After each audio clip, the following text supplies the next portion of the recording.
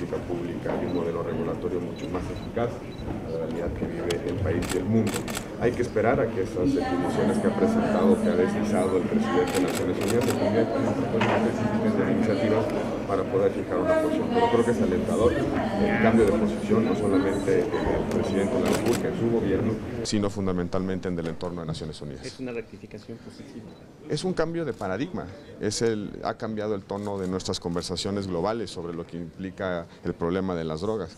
Eh, hemos abandonado el lenguaje bélico, el lenguaje de guerra, el lenguaje de armas, el lenguaje de cooperación internacional para oponer a los delincuentes toda la fuerza de los estados, de los estados-nación, de los países, por una aproximación hacia la salud pública, hacia los derechos humanos, hacia la prevención, sobre todo en los más jóvenes, un modelo, con, un, modelo, una conversación con un sentido social mayor y no simplemente oponer la fuerza coactiva del Estado como solución para contener la oferta y la demanda de drogas. Obviamente, como usted dice, este cambio paradigma llevará un largo tiempo, será a, a, largo plazo.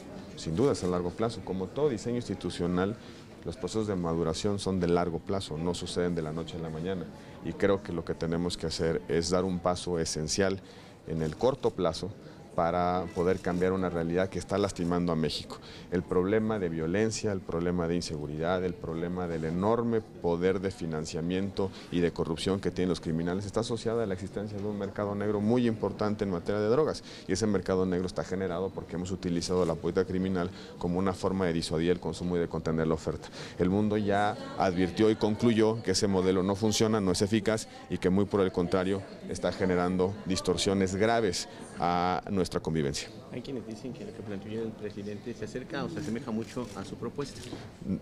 Se ha deslizado una, una convicción del presidente de cambiar la forma de aproximación al problema de las drogas desde un enfoque criminal, desde un enfoque punitivo provisionista, hacia un enfoque basado en derechos humanos y salud pública.